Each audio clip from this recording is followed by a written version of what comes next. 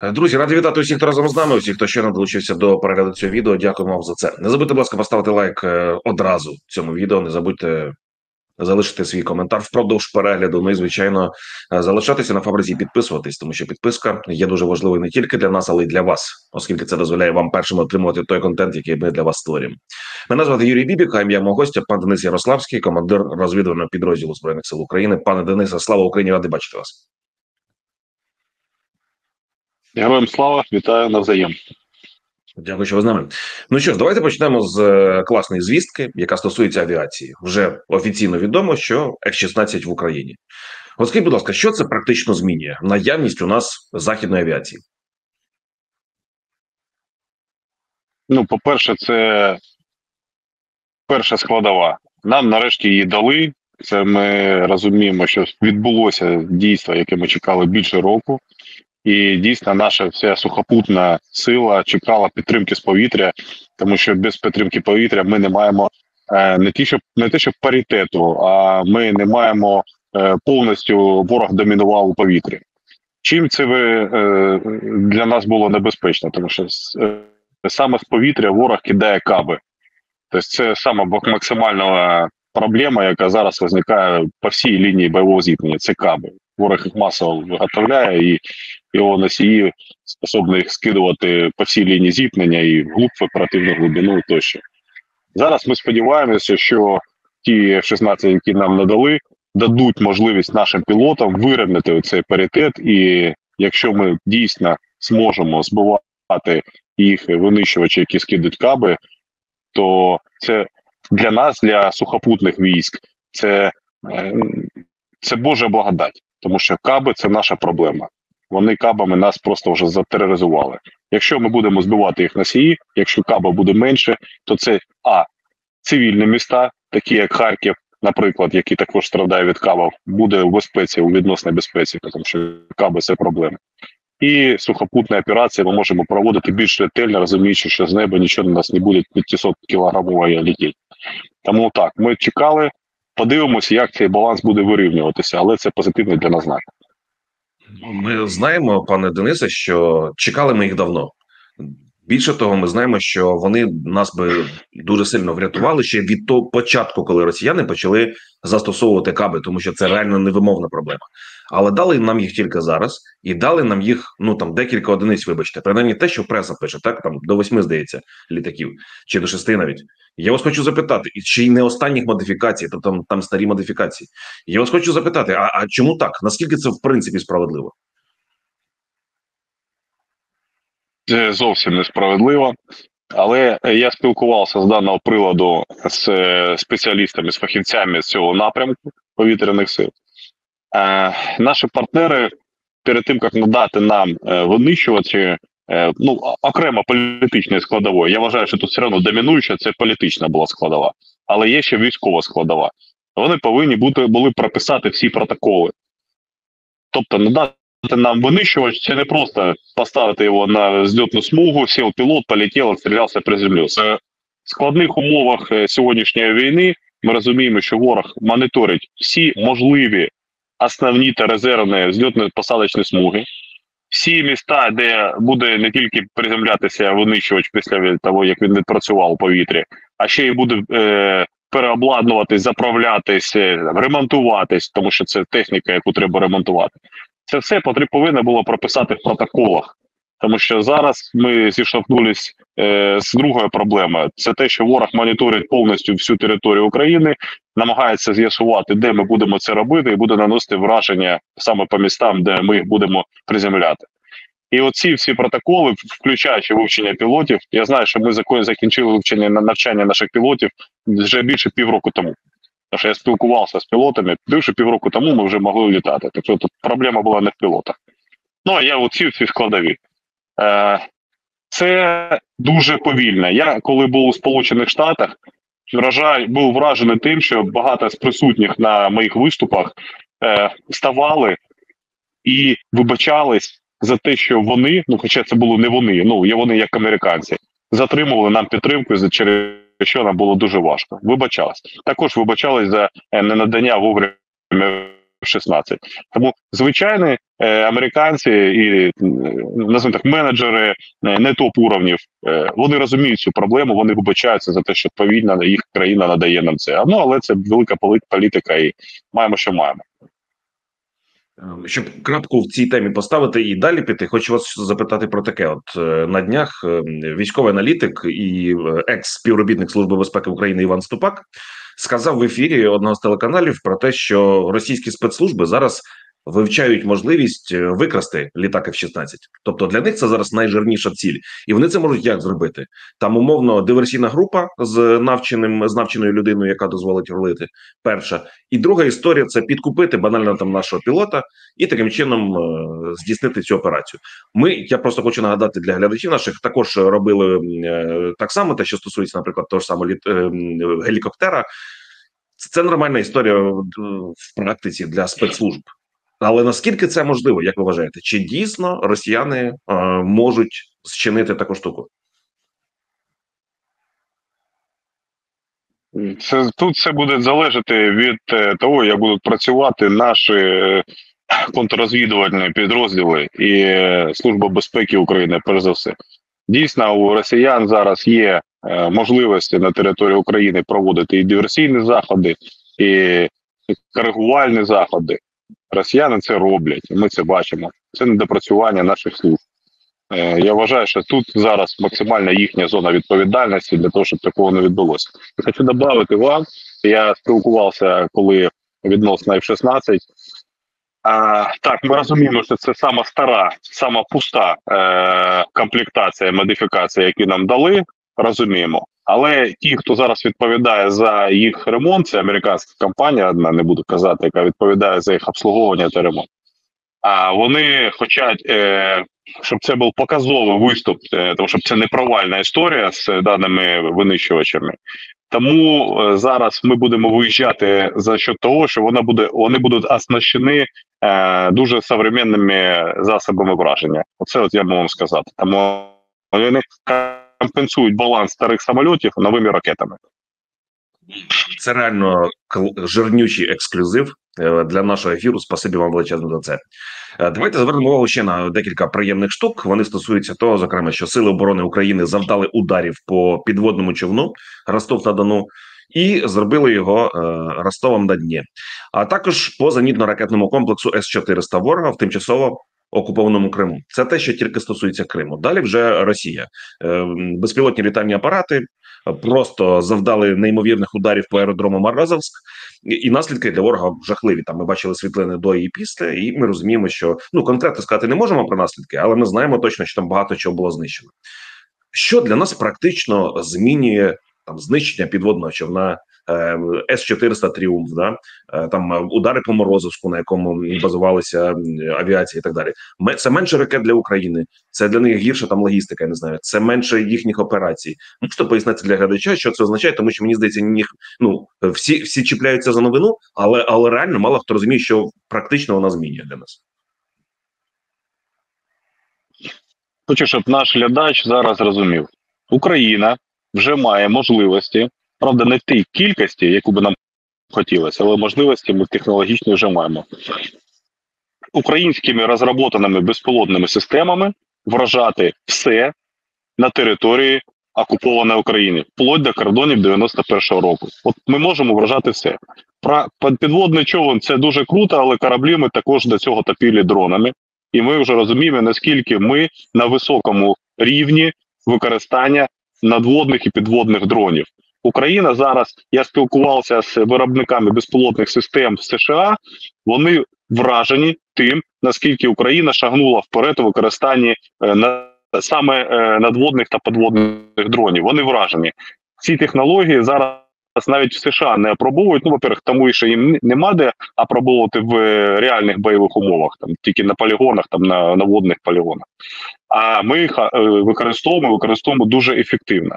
По-друге, наші безпілотні системи дальнього радіуса враження способні працювати вже по Криму легко.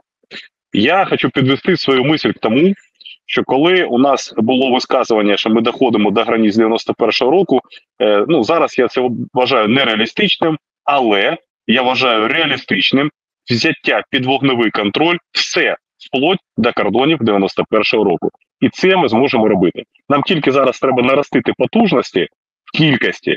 Ну, якось понятно, вона еволюціонує постійно, а от в кількості. І тоді ми зможемо тисячами дронів робити все, що завгодно з росіянами на нашій території до 91-го року. Оце повинні наші глядачі розуміти. Тому що якщо росіяни в формі, в уніформі, навіть в Криму, або десь там не знаю, на Херсоні, на Донеччині будуть почувати себе некомфортно, що до них прилетить в будь-який момент все, що угодно. Оце буде для них справжня проблема. У нас з вами минулого разу був е, просто дуже кру- кру- ефір, і- ми з вами говорили детально. До речі, хто хоче подивитись, перегляньте обов'язково про е, технології в армії: Е, Sony, Apple, Toshiba і, і, там штучний інтелект і так далі. Інтегрувати максимально в армію, зробити її сучасною, і за рахунок цього мати перевагу. Скажіть, будь ласка, пане Денисе, це щоб так відволіктись на секунду. У нас з цим є якийсь певний прогрес, чи поки що все стоїть на тому місці, де і стояло? Так, є і вже підписуються контракти з, е, з країнами, у як- деякі входять у розробку оці от е, високотехнологічний контракт, е, високотехнологічні компанії. Але я буквально вчора до мене приїжджали наші американські друзі. Я не, не можу казати вам. Яку компанію один з них є топ-акціонером, але це сам можливо сама потужна компанія по виробництву дронів у е, Сполучених Штатів Америки. І ми відверто, це ми друзі. Ми відверто розмовляли про проблематику, тому що ми не еволюціонуємо в дроновій системі. Так, от не тільки в е, Сполучених Штатах. На наступний рік сполуч... е, е, не тільки в Україні, на наступний, на наступний рік в Сполучених Штатах там заложено програму розробка щось там 12 тисяч дронів е, на рік. Тобто, це ну коли е, коли він розмовляє з представниками в Пентагоні, говорить, українці стільки за добу вистрілюють. Ну що ви робите? Він зрозумів те, що я вам зараз питаюсь е, пояснити. Е, навіть натівське керівництво зараз ще не зовсім розуміє, що змінилася війна. Е, По-перше, по-друге, є класичні компанії, які виробляють зброю. Ті компанії, які зараз мають многомільярдні контракти, ф'ючерсні контракти на виробництво там хаймерсів, танків тощо, пушек. Це класичні компанії. На них базується економі- економічна основа Сполучених Штатів. Це класика. І оці компанії зараз тільки починають е, розуміти, що дрони, дешеві дрони, технології, їм складають дуже велику проблему їх бізнесу. Е, це нагадує мені, як нафтовиробні компанії багато років блокували створення електромобілів. Це ми, ми проходили еволюцію цю, цивілізація проходила. Зараз відбувається те ж саме. Тобто нові компанії, типу Aero Whiteman, типу там Rheinmetall німецька, типу Leonardo е, італіянська, це компанії, які зараз вже починають мати ф'ючерсні контракти на мільярди доларів, тому що вони виробляють безпілотні системи, і вони забирають кусок хліба у тих, хто виробляє ті ж самі Хаммерси.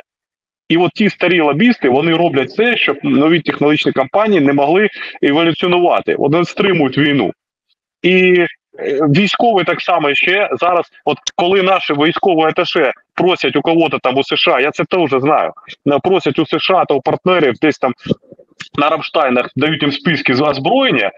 Ну, ті, хто читав ці списки, говорять, ну це, це все класична маячня. Вони не просять нові засоби враження. Вони просять, дайте нам ще самольоти, дайте нам ще танки, дайте нам ще Бредлі тощо. Тобто вони це просять по старінки, вони ще не розуміють, що війна змінилась. І ось цією проблемою ми зараз зіштовхнулись тут. Е, Україна еволюціонувала в цій війні тільки за що того, що в українську армію прийшло дуже багато людей з бізнесу, не класичні військові. Ці люди з бізнесу е, по-іншому мислять. У них по-іншому проходить система комунікації. Вони винахідливі ніж е, військові, класичні. І от тільки це нам дало можливість зараз еволюціонувати в цьому напрямку. І росіяни еволюціонують. І от е, ще ремарочку зроблю. От про компанії про це. Я коли виступав е, з доповіддю в Сполучених Штатах, е, до мене підійшов один із е, тих, хто був на заході, а це був близький друг е, президента Тайваню. І от він тоді, ми з ним розговорились, і він тоді казав, чому такі люди, як ви, не приїжджають в Тайвань? Чому ви не поясните те, що зараз я вам пояснюю? У нас дуже багато корпорацій. Ми розуміємо, що ми повинні зараз з Україною бути вообще в плотніші зв'язки. Ми порозуміємо, що наші корпорації повинні зараз у вас відкривати свої філіали для того, щоб ми разом робили ці дрони, тому що ми наступні. Ми це розуміємо. Е, забігаючи наперед, я думаю, я найближчим часом буду у відрядженні в Тайвані з цього самого приводу, і ми будемо ці комунікації вистраювати. Тому що всі люди, які пов'язані країни саме з технологіями, це розуміють. А от класика вона препятствує. Ну так буває, коли приходить щось нове, старе цьому е, дуже сопротивляється. Ось це реально дуже круто. Спасибі, що пояснюєте в деталях, буквально як це все насправді відбувається. Хочу вас, пане Денисе, ще запитати про ситуацію на фронті в обмеженій частині, там що стосується Харківщини, зокрема. От дивіться про що каже Буданов. Він дав інтерв'ю ТСН і каже про те, що присутність росіян у Харківській області це питання часу. Вони там намагалися створити буферну зону, але провалилися. І ще одна новина паралельно з цим. Ворог готується до нового наступу на Вовчанськ. Тобто повідомляється, що ворог провів евакуацію санітарних втрат, здійснив внутрішню ротацію особового складу, забезпечив передові позиції боєкомплектом і провізією. Коли Буданов каже про те, що присутність росіян на Харківщині це питання е, часу, і паралель- паралельно читаєш новину, що вони хочуть йти знову на Вовчанськ, як це співставляється між собою? Ну, по-перше, присутності росіян у Харківщині взагалі не повинно було бути. Якщо б дехто не, не допустив ці, проблеми з фортифікаціями, їх би там не було. І ми б зараз не вигрібали заново те, що ми вигрібаємо. Ми б не бачили зруйновано вщент місто Вовчанськ. Там жили 17 тисяч людей до другої хвилі. Так що давайте спочатку розберемося з проблемою. Ми та військові свою задачу виконаємо. Ми їх е, оттуда виганемо второй раз. Не питання. А от чи не допустять ті, хто відповідає за безпеку, за розпілювання грошей, не допустять, щоб вони третій раз туди не увійшли. Оцього я опять не можу сказати, тому що другий раз ми це вже побачили. Е, ситуація ясна. Тобто ми їх виганяємо. Вони зараз е, зараз вони знаходяться максимум на глибині там до двох кілометрів. Це під Ліпцями на Харківщині і там під Вовчанськом. Тому що Вовчанські, можна сказати, їх присутності немає. Там остались залишки цих е, недобітків, і ми їх оттуда вижимаємо. Так, тобто вони питаються трошки проводити штурмові дії, але це великі втрати і ноль результату. Чи буде їх повторна ситуація? Там е, я, я не розумію. Ми їх виштовхнемо, і давайте далі вже будемо всі країни слідити, щоб не було повтора з е, провалом фортифікації, як воно було. А, але зараз знають тільки одне: що вони прийшли у Вівчанськ, вони не змогли виконати свою бойову задачу, яку вони там для себе планували, і вони зараз намагаються штовхатися під Куп'янська, тобто Куп'янська боровий напрямок. І чи є там скупчення? Ні, ми не бачимо скупчення, але ми бачимо спроби е, по лінії фронту, тобто е, проходити там не- не- невеликими підрозділами до, до батальйонного там какого-то соєдінення. Е, Це все намагання. Тобто, якщо ми зараз беремо на, на ваги, я вважаю, для них зараз буде більш ключовим Куп'янськ, Куп'янськ вузловий. Вони питаються той берег піджати, тому що е, вийти для них по. По річку, по природу е, перешкоду, це для них пріоритетний напрямок. Так, ми там стаємо, але вони кожного дня зривають переправи. Коли ворог зриває переправи, це він тобто у нас так для того, щоб ви там відкроєте мапу Куп'янську. Е, Тобто для того, щоб ворогу зайти по, по сторону річки, там є Куп'янськ вузловий з цієї сторони, йому треба відрізати наше угруповання. Він відрізає переправу, щоб ми не техніку не вийшли і не змогли. Оце от, от зараз він робить. Я просто як військовий бачу його намір. І це не, не Вовчанський намір. Вовчанськ зруйнований вщент. В Вовчанській неможливо навіть окопатися. Тобто, якщо люба група військ зайде туди, вона повинна десь фортифіканутися сразу ж, тобто укріпитися. А там зараз ну там просто бетонні уламки. Там немає навіть е, зайти і створити вогневу позицію. Тобто я не бачу це можливим на Вовчанську. Це, це, це просто втрата людей. А от Куп'янськ, да, я вважаю, що вони зараз там будуть штовхатися. Що думаєте з приводу скандалу, який виник у 80-й бригаді? Нагадаємо, там е, побратими стали на захист свого командиру. Е, там за різною інформацією немає там чітко да офіційно зрозуміло, що там відбулося, але як кажуть люди, значить, командир не взявся е, виконувати завдання, яке було неспівмірним, неспівставним силами і засобами е, свого груповання. Ну от, е, значить, хлопці вийшли на камеру, звернулися до верховного, до головкома і сказали про те, що ми проти його звільнення. А вони це все подали як нібито там підвищення. Ну і от вийшло те, що вийшло. Цей командир дав інтерв'ю і там фактично сказав про те, що реально це радше звільнення ніж підвищення. Принаймні так це звучить в пресі. Не хочу там обговорювати цю всю історію з хлопцями. Якщо хочете, дайте коментар, будь ласка. Але слухайте, як це реально впливає там на стан справ, на стан настроїв у війську. Я про цивільних там мовчу, да і, і так далі. Можна нехтувати такими зверненнями від хлопців, які реально підтримують свого командира. Коли військові стають на захист свого командира, це каже лише про одне: що військові безпрецедентно довіряють своєму командиру. Безпрецедентно. Зараз у нас не так багато командирів, за яким можуть йти в бой військові. Зараз у нас не так багато командирів бригад, акцентую увагу, які бережуть життя військових. На жаль, ми зіштовхнулися з тим, що виконання бойової завдачі, як у росіян, це бігіть, виконуйте, скільки втрати, взагалі нікого не не, не калишать. Ви повинні виконати завдання. Я це бачив на різних ланках, на різних ланках керування. Коли тупоголовіша задача по втриманню нікому не потрібного сектора або рубежа, взагалі тупейшого, закінчається втратою е, роти, взвода, навіть батальйона. А командири, які дають ці, завдання, е, які штурмувати або отримати, вони там ніколи не присутні. Вони присутні на ОКП батальйонів, на ОКП бригад, е, десь там на третій лінії, там де все безпечно, на якомусь там заводіки, десь в бункері. А давайте штурмуйте. І особовий склад це розуміє. Коли командир, розуміючи ситуацію, не дає убити своє підрозділення, це це дуже фахово. Це це професійно, це людяна, це по-українськи, а не по-русски. Але вище командування ставить задачі і спрашують їх виконання. І для вищого командування, оце знаєте, як армійська от це, е, тупої прямолінейності, неважливо, якими засобами та втратами ти її виконаєш. Я вважаю, я не я не знаю подноготної даної ситуації, але я цю ситуацію бачу везде по по всіх бригадах, по всіх підрозділах, від взвода до батальйона. І судячи з інформації, яка в мене має, е, яку я маю про цього командира, це дуже фаховий, дуже професійний військовий, який береже особовий склад. Це наша пріоритетна задача. Так кажуть нам всі командуючі від головкома до верховного головкома. Що вони кажуть?